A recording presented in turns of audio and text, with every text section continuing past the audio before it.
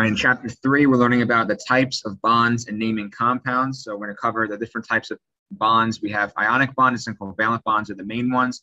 Ionics have positive and negative charges. They are associated with charges. Covalent bonds do not have positive and negative charges, but they could have partial charges. But the bond itself is created by when two atoms share their valence electron. So here are gifts of both of them.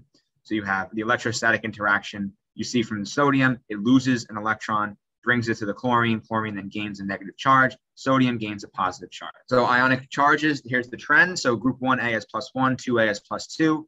Um, these transition metal groups, there are a few exceptions to the transition elements. Most of them can have multiple charges, but silver is always plus 1. Cadmium and zinc are always plus 2.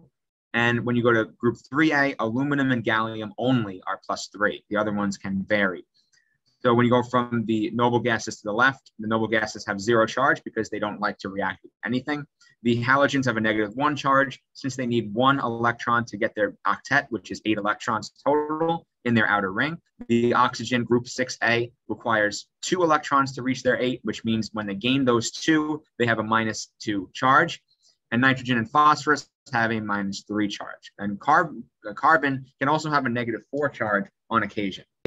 When we're naming compounds, we're going to go through the ionic naming parameters and scheme. So basically, you name the first metal and then you name the non-metal. So ionics are going to be between metals and non-metals. So you name the metal, then you name the non-metal, but with the IDE ending.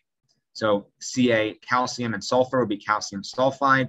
Potassium and fluorine would be potassium fluoride. Magnesium and oxygen would be magnesium oxide.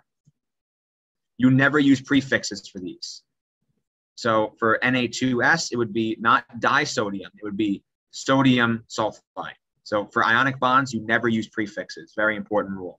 When you have ionic bonds that have a transition metal, you are going to put a Roman numeral denoting the transition metal's charge after the metal's name.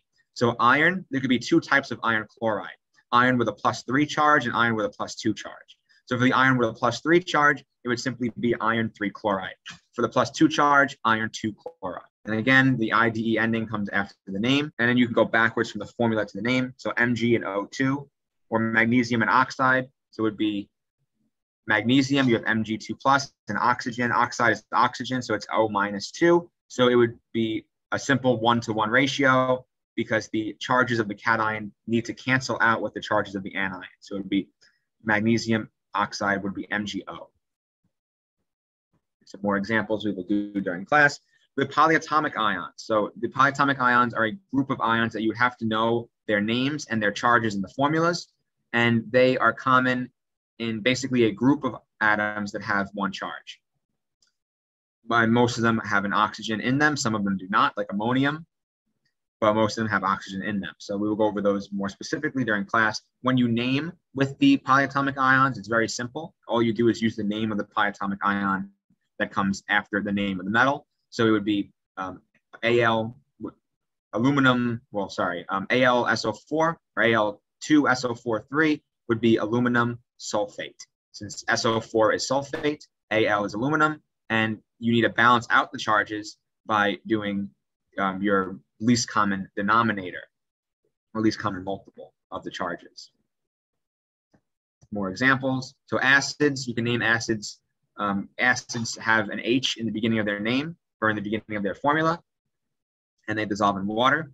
And for when you name acids, first thing you need to ask is, does the anion contain oxygen? If it doesn't, like HCl and HBr, you will then use the hydro prefix and then the chloric, the ic ending, and then acid.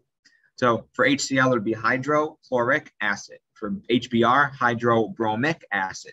For HI, hydroiodic acid. For anions that do have an oxygen in them, you use either the IT ending or the ITE or the IT or the ATE ending based on their, um, or if they have that ending, you use the, you change that to OUS or IC.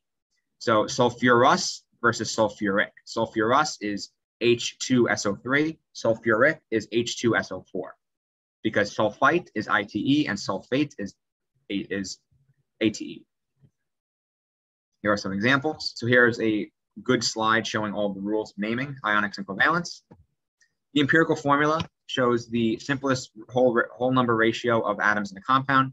Um, it can then be multiplied to have the structural formula or the molecular formula and then the structural formula depending on um, which compound we're talking about. Uh, the empirical formula can be found and here are the steps to finding it. So you convert the grams, you convert the percentages to grams and assume you have a 100 gram sample. You then convert those grams of each element into moles and then you divide by the number of the smallest moles and then you multiply the mole ratios by a whole number to make all of the mole ratios whole. So for example, here's the kind of problems you would get. You have 100 grams of substance containing uh, carbon, hydrogen, and nitrogen. In this case, you don't need percentages, you have grams already. But basically what we're gonna do is to find the moles of carbon, hydrogen, and nitrogen. We're going to divide each of these grams by the molecular weight for those elements. For carbon, the molecular weight is 12, so we're gonna divide 38.67 by 12, and we're gonna get 3.33. For hydrogen, we're going to divide that by the molecular mass of hydrogen, which is 1.008, and for nitrogen by 14.01. We then end up with ratios of moles. We're going to divide these by the least amount of moles. So it would be 3.2. So we're dividing all three of these numbers by 3.2. So we end up with 1, 5, and 1. So our ratio of carbon to hydrogen to nitrogen is 5 is 1 to 5 to 1. So it would be CH5N would be our um, empirical formula. Here's another example. Basically, what we're doing is the same thing, but we have percentages. So we're taking our 60%, turning into 60 grams, dividing by 12 to figure out your moles for carbon, are 4.47 grams of hydrogen, dividing it by 1.008 to find out my moles for hydrogen. And same thing, 35.53 grams divided by 16 grams per mole of oxygen. And then you take those molar numbers, divide them by their least amount, and you end up with 2.25 for carbon, two for hydrogen, and one for oxygen. But you can't have 2.25 of an atom. So we have to multiply this by four, every number in that ratio by four, in order to maintain whole numbers. So you would end up with nine carbons, eight hydrogens, and four oxygens. We are then talking about combustion. So combustion is the burning of any organic compound that contains C's, H's, and O's, and even some nitrogens that is reacted with oxygen to every single time create the product CO2 and H2O. We can then use the skills that we learned to solve problems that involve combustion if we don't know um, the empirical and molecular formula for a combustion reactant. So if we have the amount of carbon, we can then divide and figure out the, the moles of carbon and then the moles of hydrogen. And then by deducing with that, we can find out the moles of oxygen. But we'll do this one during class. So determining the molar mass of a compound, you add up the molar masses for all of the elements involved in the compound. And then percent composition, if we have a sample of 100 grams of, let's say, in this case, we have um, oxygen in water. So we have out of water's, uh, water's atomic mass is 18, the mass of oxygen in water is 16. So 16 divided by 18 is about 88% oxygen. And we could use this mass percent as a conversion factor. So calculate the mass percent of oxygen in NaClO4. So you would do 4 times 16, that would be the amount of oxygen, divided by the molar mass of the entire compound, which would be 23 plus 35.45 plus 64, and that would end up with a percent, 52.3% and then there's more problems, and then that is it. So if you have any questions, I know this is a very fast tutorial, but we will cover the whole lecture during class. And you can comment questions if you have them below. Thank you.